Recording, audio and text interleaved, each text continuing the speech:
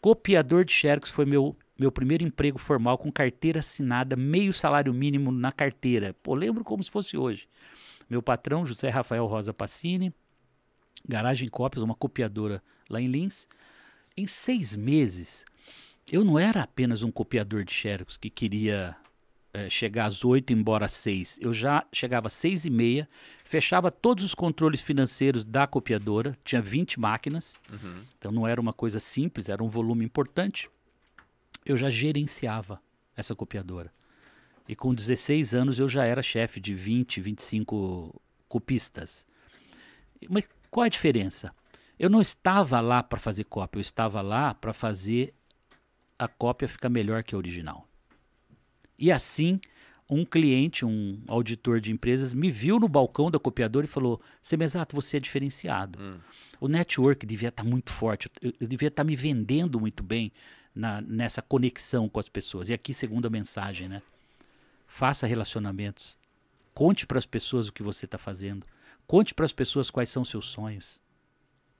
Se você não verbalizar os seus sonhos, se você não externar os seus desejos, ninguém vai ver e a oportunidade não vai surgir. Você precisa se mostrar para que as coisas aconteçam. Mas pode parecer estranho, né, Semenzato? Porque a gente escuta assim, não conte os seus sonhos para os outros. Você está falando para mim, para mim, cara, eu, eu to, todas as pessoas que estão, e, inclusive hoje aqui, eu já vou estar tá contando os próximos 5 anos, 10 anos, até o final a galera vai saber onde eu estou olhando, para onde eu, onde eu quero chegar. Legal. Não tem, não tem segredo estratégico.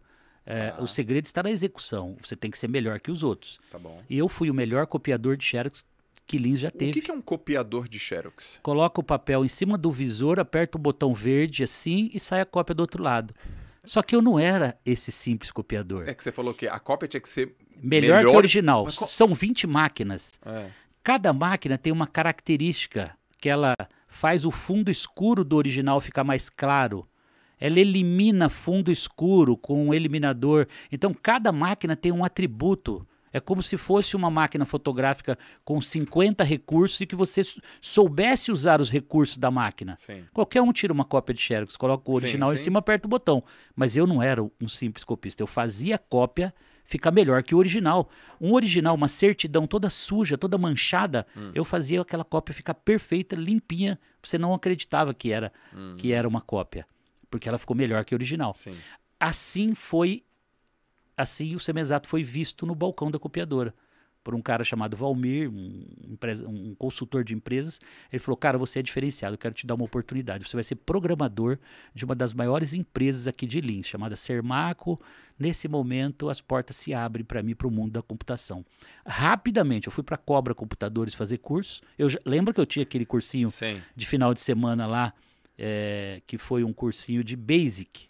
É, quem, quem é do, do mundo da computação vai lembrar que o BASIC foi uma das primeiras linguagens de programação, depois veio de Base, depois veio de Base 3 Plus, depois veio o Summer e depois eu fui para o COBOL. Bom, rapidamente eu me torno o melhor programador que Lins teve na região, ou na sua história. Porque eu me entrego quando eu, eu, eu, não, eu não era o copiador igual aos demais, eu queria ser diferenciado. Né? Eu teria inúmeras histórias para contar de clientes aqui que a gente passaria o dia. Eu estou tentando fazer, só contar aqui os pincelando os pontos mais importantes que fizeram a diferença. Certo.